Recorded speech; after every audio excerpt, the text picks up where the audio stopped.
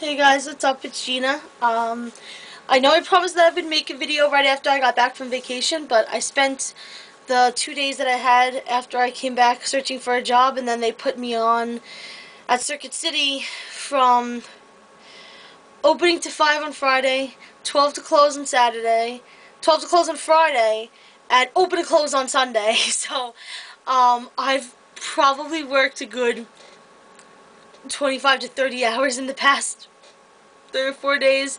So I'm, I'm very, very tired. Um, but I'm off today, so I finally got time to make you guys a video, so I'm sorry about the lateness. But, um, uh, thank you for all the well wishes and for all the birthday wishes. My trip was wonderful. It was relaxing. It was nice to get away from everything. Uh, before I left, I was very angry and frustrated and stressed out at Circuit City. Um, I know it, it, it, didn't really show in the video, but I was, I, I, honestly, I was losing my mind because nobody was caring about anything anymore, and I was just frustrated. And the trip gave me a chance to kind of step away, take a breath, and come back with a whole fresh new perspective. And uh, so, even though I worked all those hours so far this week, I honestly, I feel basically stress-free because I got to just take a breather and and kind of start anew. Um, so I promised that I would make a video about what has changed in the store in the past week and a half. Um, the number one thing is that there's a ton of signs everywhere. There's these bright yellow and red signs hanging from the from the ceiling that says, you know, store closing sale. Everything must go. Nothing held back. It's it's crazy and um, it makes the store look like this madhouse. And there's price tags on everything. They're selling everything from the aisle fixtures to the tables and the chairs in our break room our, our microwave our refrigerator. They're selling the lockers that we put our stuff in. There's price tags on everything um, we have four liquidators in our store because there are four liquidation companies that bought out Circuit City. And one of them is actually just doing the furniture. That's his entire job is he's liquidating the furniture. And they actually took our camera supervisor and he's now in charge of selling all of the fixtures and furniture. So, um, so so that's something really big that's changed. Uh, another thing that's changed is that um, our, the discounts did go deeper. I'm still reading um, articles that people are complaining about how expensive everything still is, but um, for those of you who don't know how liquidation works, there's something called MSRP, which stands for Manufacturer's Suggested Retail Price. Um, most stores like Circuit City and Best Buy will sell things slightly under MSRP to kind of beat online prices and to encourage people to come and shop in the stores. And um, what liquidators do is they bring everything back up to MSRP and then start discounting it from there. So I see a lot of people complaining that, you know, I can still go to Best Buy and, and still get better prices than your liquidation prices. And uh, the honest answer to that is, well, that's not our choice. That's the liquidators. That's how they sell what they sell. Uh, but the discounts are the discounts are still really really good. I mean, th there's some stuff in there. I'm looking at those prices and I'm like, damn, if, if I had the money, I would buy something myself.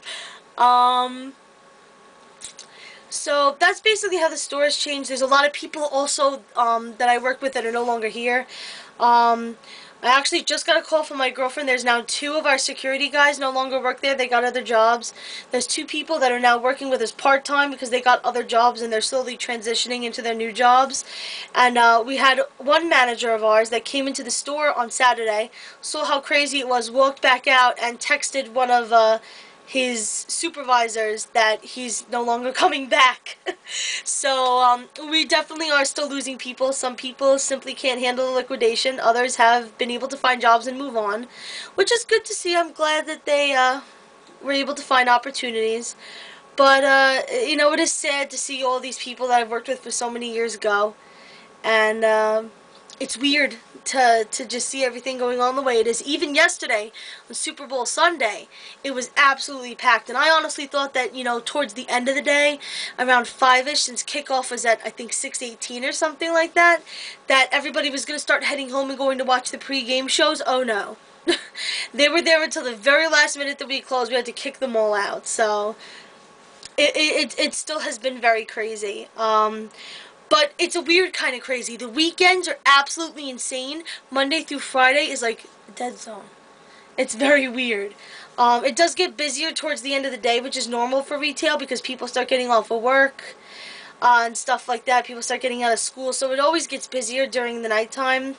But for the most part, it's it's pretty dead uh, during the week, and then the weekends are crazy. Uh, so other other than that, that's really all that's that's changed at Circuit City. Um, as far as my work situation, um, I have not heard anything back from anyone yet. I'm still trying to put in applications and, and work as hard as I possibly can to make an opportunity for myself. Um, I just turned 25 and I definitely wanted to use some of the time that I had, like my free time during my vacation in North Carolina to think things over, you know. I mean, 25 is kind of a pivotal year. It's it's, you know, you're a quarter of a century old if you think about it in a way, you know. It's kind of like a little bit of a landmark and I wanted to take the time to kind of think about where I've traveled to up to this point in my life and where I want to go. And I really feel like I want to start working really hard to go towards my ultimate goal. And one of the things that I want to do, honestly, is that I don't want to be unhappy anymore. I don't want to just take any job that comes my way because it's going to give me money. I want to try and put in that extra effort to get something that I know that I'll at least enjoy a little bit. Um, you know, because I, I grew to really love Circuit City, but when I first started working there, I was miserable because it wasn't what I wanted to do. Um, I was scared, you know, it was my first kind of unsecure job because I used to work for a job where a family member of mine was a higher up, so, you know, it wasn't like, you know, people were getting fired from that job or anything like that. It was a very tough kind of job to get uh, fired from. So, the insecurity of a job like that kind of scared me at first. But I mean, I grew to love Circuit City and I grew to be very confident in myself. And uh, Circuit City also taught me a lot about how to approach people because I'm a very shy person and I would never ever dream of going up to a stranger and just starting a conversation with them. But after three years of doing it, you know, 50, 60, 70 times, probably even up, really more upwards into the hundreds, over 100 times a day to sell stuff, you get used to it after a while. And I think that that has given me a confidence within myself that I didn't have before Circuit City. And I guess the way that Circuit City has changed me, the positive ways that it has changed me, is another reason why I'm really sad that I'm watching my company go down, you know. I had one guy come in and put his hand on my shoulder and tell me uh, that he knew what I was going through. He was a personal business owner and his store went out of business and he said he remembered he walked in one day and his workers had put up all the going out of business signs and he just started crying. you know, that, you know, it's heartbreaking to see this place that you invested so much time into go. And um, I had one of my favorite regular customers come up to me yesterday and he said, Gina, it's been an absolute pleasure knowing you and I honestly wish you the best of luck. And I had I had to go into the back and I had to step away because I was I was in tears you know? Um, a lot of the response from our regulars has been really positive. Besides the vultures that feel the need to come in and scream and yell and complain thinking we're going to give them some kind of better deal to get them out of the store which is you know so infantile but whatever.